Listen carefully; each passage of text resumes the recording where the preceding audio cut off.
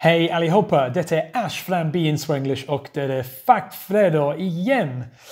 It is Fact Friday, and Fact Friday is where I give you some random and interesting facts about Sweden every single Friday. So if you do enjoy this content, hit that subscribe button below and also hit the little bell next to it because then you'll get a notification when I post another random video like this.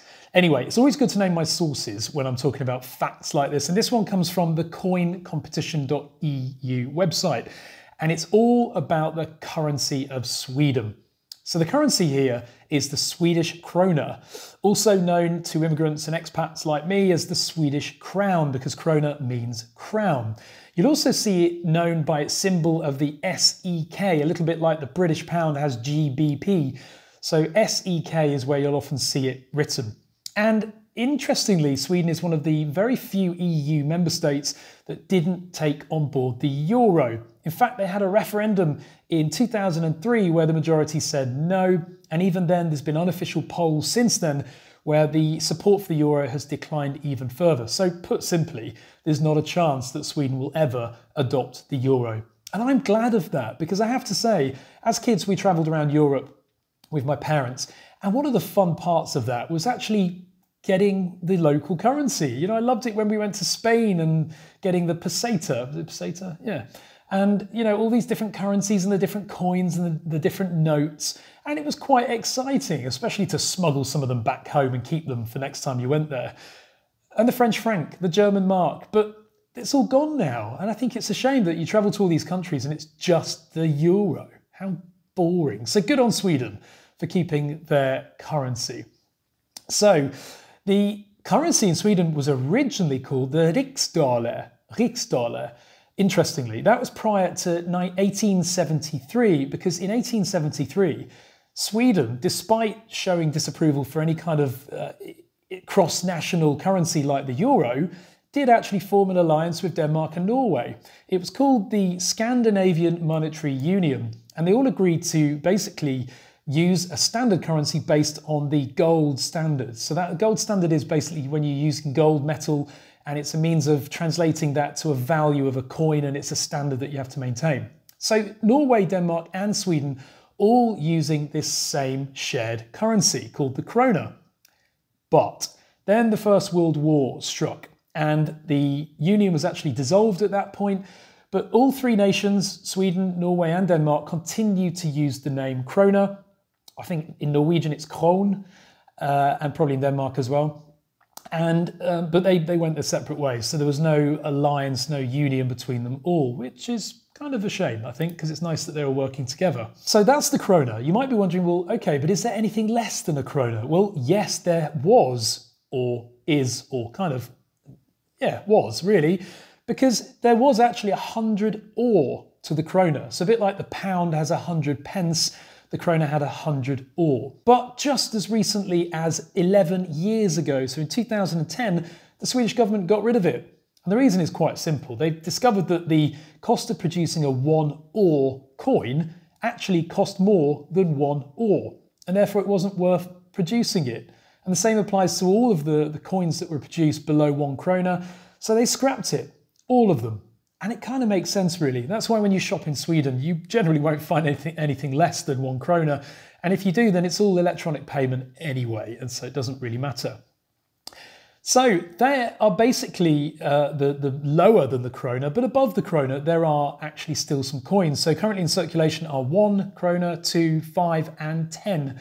But to be honest, you don't really see them that often. In fact, I remember the days, you know, when I was younger, coins were Brilliant. That's all we ever spent. And it was great collecting coins as a kid as well, your piggy bank and your pocket money.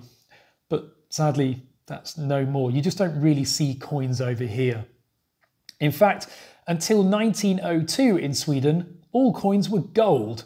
Isn't that nice? But Sweden couldn't maintain the gold standard, which is this kind of global acceptance of what a gold coin is worth in relation to currency and the metal. And so instead, they used to move to using other metals such as silver, bronze, and aluminium. In fact, even the 5 krona and the 10 krona coin today are made of Nordic gold, which is actually an alloy of copper, aluminium, zinc, and tin. Other coins are made of copper plated steel. quite interesting. It does make you think, doesn't it, when you see these beautiful coins with all the different metals and different colours, there actually actually are different metals, and it's incredible how they still produce them. But imagine the cost of producing those coins. No wonder countries are glad to see them gone. Now, above coins, of course, there are also banknotes. Now, we do still see banknotes over here. I saw a lady paying with them the other day. I think you'll find it's normally the, the older generation that still pay with banknotes because they like to have the money in their hands. Whereas the younger generation, and me, because I'm not young anymore, like we like our e-currency. You know, it's it's it's just ease, isn't it? It's easy to to maintain. It's easy to hold. You know, you just have a card, or even a watch or a phone now for contactless. It's much much simpler. But the, the notes are still in circulation. They're available in 20, 50, 100, 200, 500, and 1,000 krona. But a little bit like the notorious UK £50 note, you don't see many of those in circulation. And the same with the Swedish, you don't see many 500 or 1,000 krona notes. I certainly don't think I've ever seen one, actually. Um, the notes that they do have carry the faces of famous people as well, just like in every other country. But as I said, really, the, the most popular currency here now in Sweden, not currency, the most popular form of Swedish krona is the e-wallet. And that means contactless, straight to the bank, using your phone and tapping your phone or using your card contactless chip or you know any any type of payment like that now. Even you know Swish is a very very popular mechanism here. If you go and buy something from somebody these days, secondhand from Blocket or Facebook Marketplace, it's normally Swish that they ask for. And Swish is an app on your phone and it connects straight to your bank account and you can transfer money like that so quickly. And the good thing about it as well is that it, it leaves a money trail. That's why Sweden endorsed these e-payments because it stops the spread of drug money. It means that, that everything's traceable. When you pay by Swish or if you pay via uh, any kind of electronic means, there's a trail it means it gets rid of dirty money, and that's why uh, the, the government supports it and prefer it. So it's an interesting old history. It's very, very interesting that Sweden, Norway, and Denmark had a, a, monetary alliance at one point, but not anymore. But they still kept the name. I like that. That's the interest, most interesting part of the fact today, I think, because I didn't know that. Also, that the Swedish currency originally was called the Riksdaler. Riksdaler. That's also quite interesting. Anyway, so next time you go and buy something, think about being being Swenglish Fact Fredag, where you learnt a little bit more about the money that you're spending.